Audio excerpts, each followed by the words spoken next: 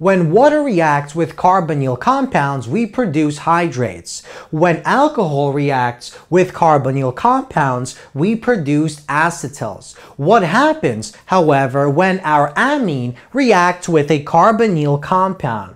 Well, it depends on the type of amine that we are talking about. If the amine is a primary amine, we form something called an imine. However, if the amine is a secondary amine, we form a product known as the enamine. So what exactly is the difference between these two products and why is it that when primary amines react with our carbonyl compounds we produce the imine but when secondary amines react with our carbonyl compounds we produce the enamine. So let's begin by discussing the reaction mechanism of the formation of the imine. So primary amines react with carbonyl compounds to form imines. And this takes place because our primary amine has two H atoms attached to our nitrogen atom. So we'll see why that's important in just a moment. So this is basically an acid catalyzed reaction. That basically means in the first step we have an acid, the conjugate acid to our uh, primary amine that reacts with the carbonyl molecule. Basically the carbonyl molecule is protonated on the oxygen end of that double bond. So we have the oxygen uses its lone pair of electrons which acts as the Lewis base, grabbing this H atom away from this acid, placing the two electrons onto this nitrogen, forming this primary amine, as well as this resonance stabilized intermediate on which our positive charge is distributed among the oxygen and our carbon. Now basically this is a primary amine because only one R group is attached to our nitrogen. So it contains the lone pair of electrons as well as these two H atoms. And these two H atoms are important in the formation of our amine. And only primary amines will react with carbonyl molecules to produce this product we call the imine. So in the second step, we have this primary amine using its lone pair of electrons on the nitrogen to act as a nucleophile, creating a bond between this nitrogen and this carbon. So we form the following carbon-nitrogen bond.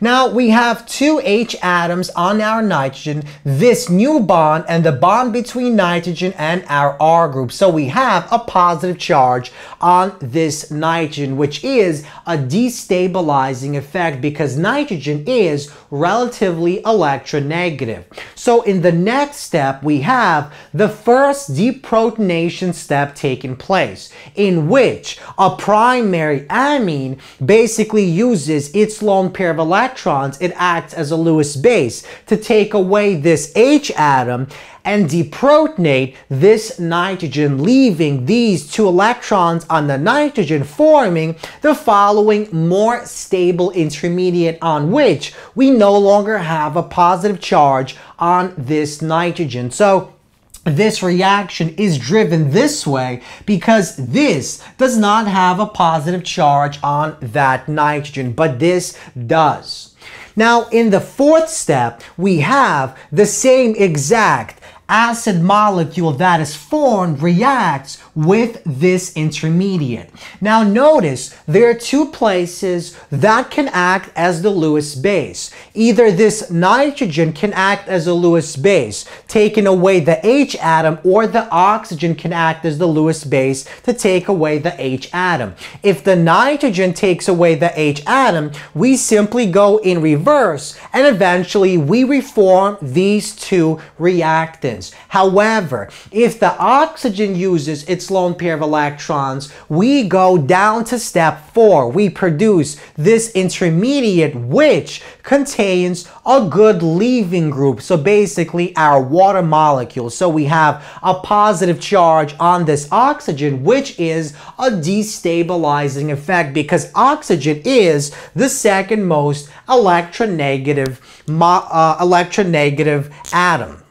So let's draw an H here.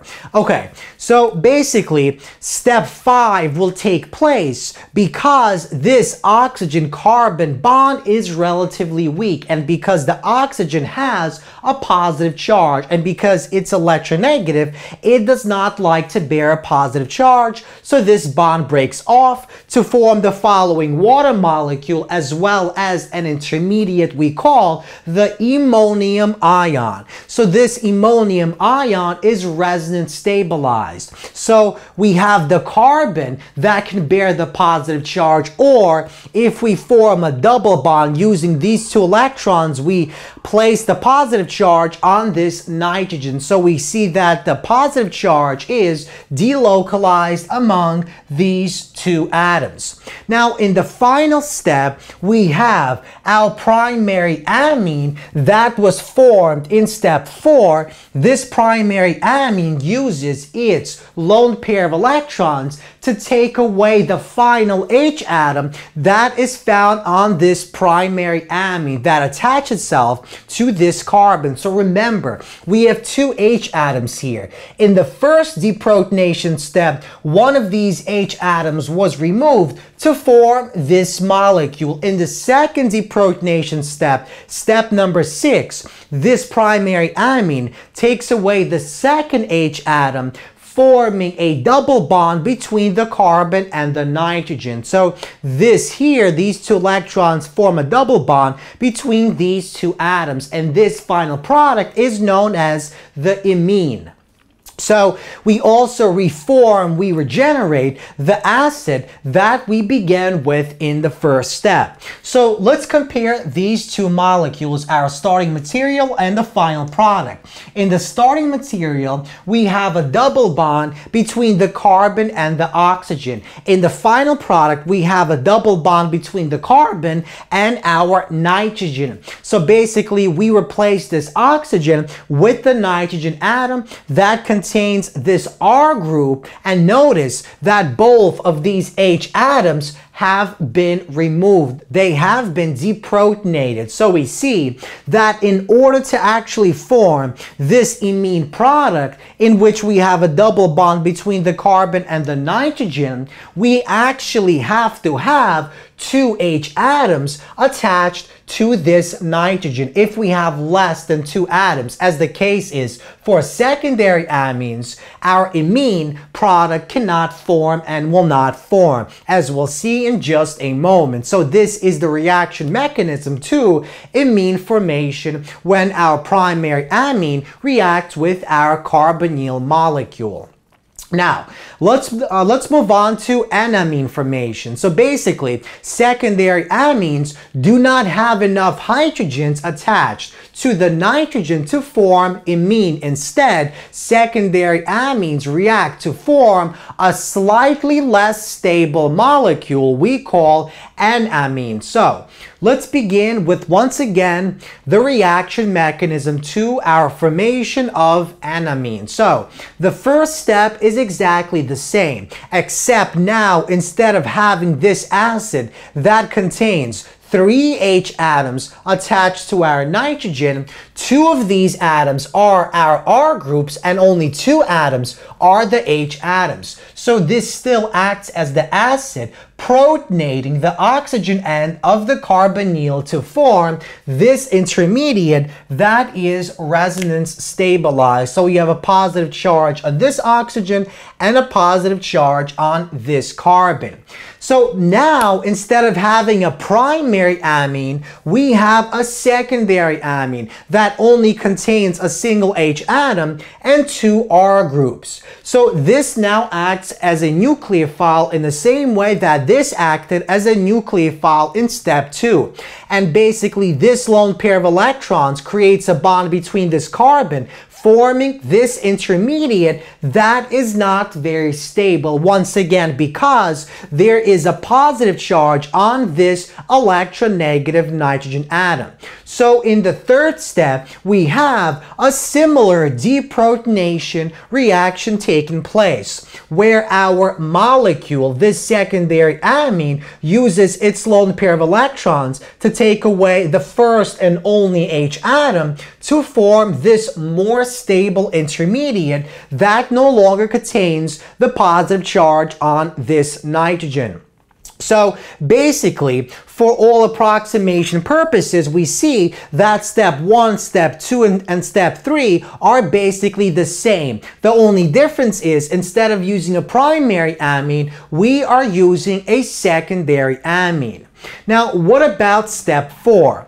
Well, step four is exactly the same as step four in this case. So basically, we have two possible Lewis bases. Either the nitrogen can act as the Lewis base, in which case, if it does, we basically go in reverse and we follow these steps in reverse. However, if our acid um, um, if this oxygen uses its lone pair of electrons and acts as the Lewis base, if this oxygen grabs the H atom from this acid, then we go on to step four and we produce the following molecule that now contains a good leaving group and it contains our positive charge on this uh, on this oxygen, which is of course a destabilizing effect. So step five will quickly take place because we have a good leaving group. So this will break off and we form the following resonance stabilized intermediate,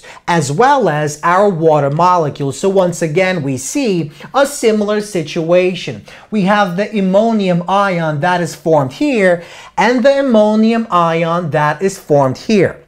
Now, the main difference between this reaction mechanism and this reaction mechanism is the final step, step six. In this case, we see that we have that second H atom that is attached to our nitrogen because we began with the primary amine that contains our two H atoms. So the final step here is easy. We just take off the H atom. We form the double bond between the carbon and the nitrogen. But here, things aren't that simple because this nitrogen is uh, this nitrogen contains two R groups and no more H atoms because it began as a secondary amine and so it only had one H atom and this H atom was deprotonated in step three. So basically when we went uh, from this to this intermediate.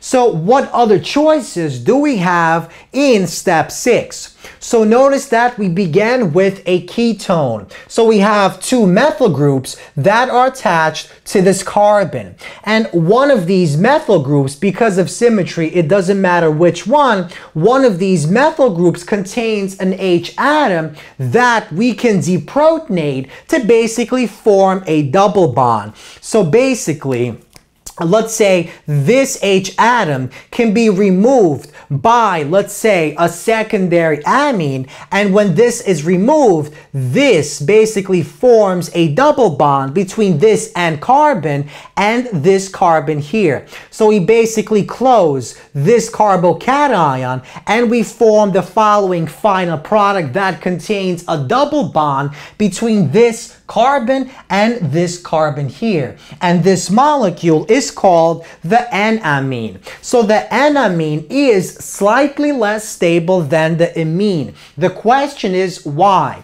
Well, it turns out that the imine contains a more stable double bond. In this case, the double bond is more substituted than in this case. And that basically implies this is more stable than this molecule molecule here. So once again, the enamine is less substituted double bond compared to the imine counterpart, and so it is less stable. And that's exactly why when primary amines react with carbonyl compounds, we never form the enamine, we always form the more stable and more substituted imine molecule.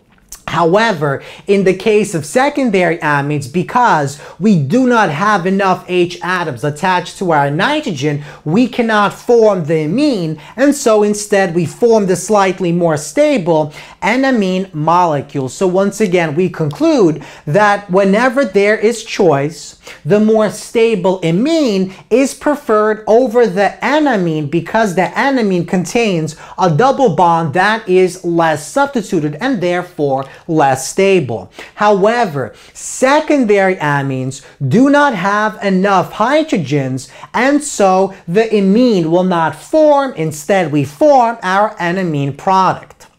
So we see that not only water and alcohol can react as nucleophiles with carbonyl compounds, but also amines can react with carbonyl compounds. However, it matters what type of amine we are using. If we are using a primary amine, we form the imine. If we are using a secondary amine, we form the enamine. Now, finally, in the next lecture, we're going to examine what happens when we we use a tertiary amine. What happens if a tertiary amine that does not contain any H atoms reacts with a carbonyl compound? That we'll talk about in the next lecture.